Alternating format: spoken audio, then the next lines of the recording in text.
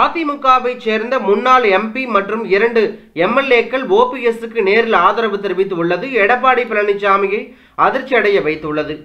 அதிமுக ஒருங்கிணைப்பாளரும் முன்னாள் முதலமைச்சருமான ஓ பன்னீர்செல்வம் அவ்வப்போது தனது ஆதரவாளர்களை சந்தித்து ஆலோசனையில் மேற்கொண்டு வருகிறார். அந்த வகையில் இன்றைய தினம் கிருஷ்ணகிரி விழுப்புரம் மாவட்டங்களைச் சேர்ந்த ஐநூறுக்கும் மேற்பட்ட நிர்வாகிகளை சென்னை மயிலாப்பூரில் உள்ள தனியார் ஹோட்டலில் சந்தித்தார்.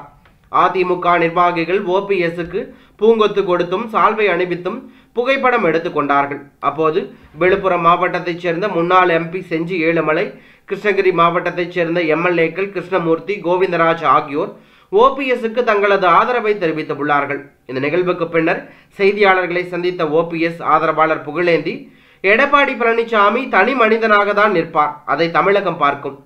நாடு போற்றும் நல்ல தீர்ப்பு நாளை வரும். நாளைய தீர்ப்புக்கு பின்பு ஜெயக்குமார் சி வி சண்முகம் எங்கே இருப்பார்கள் என்ற நிலை வரும் என்று அவர் கூறியுள்ளது. எடப்பாடி பழனிசாமியை அதிர்ச்சி அடைய வைத்துள்ளது.